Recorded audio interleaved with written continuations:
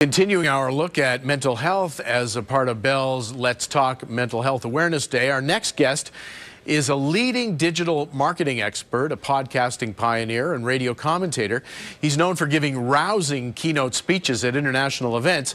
But while doing all of this, he's also coping with depression and fighting an addiction to alcohol. Every day is a challenge, but Tod Maffin has discovered many strategies to keep him going.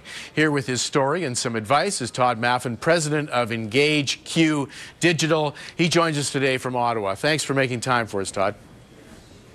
No problem. Thanks, Howard. What are some of the fixes that you think are, are possible and meaningful in the workplace that can help people avoid what happened to you? There is one fix we need to do in this country, and that is to follow recommendations. You know, every time a new government comes into place, they put out a big press release, a big photo op, a mental health commission. Don't get me wrong, the federal government committed $110 million over five years to the mental health commission. But where are the recommendations being implemented? We know what the problems are, Howard.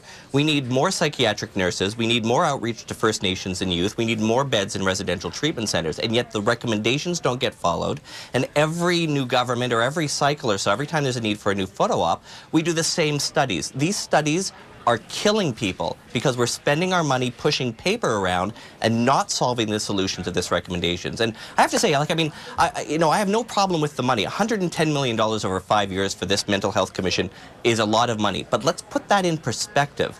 The Canadian government has spent since 1998 $110 million on the Global Polio Eradication Initiative. We haven't had a single case of polio in 10 years in North America, Europe, Australia, 34 Asian countries, including China. Not a single case. In fact, in this year alone, mm. in 2013, there's been one case in the world, just a week ago in Karachi, Pakistan, a 14-month-old girl with polio. One case in the world. And we're spending $110 million on the Global Polio Eradication Initiative to solve a problem that doesn't exist. We're putting the same amount of money toward that than we are in mental health in this country. It's reprehensible, and the Harper government should be ashamed of itself. We will leave it there, sir. Many thanks for joining us today, Tod. Thank you, Howard. That's Tod Maffin. He's president of engageQ Digital, and he joined us from Ottawa.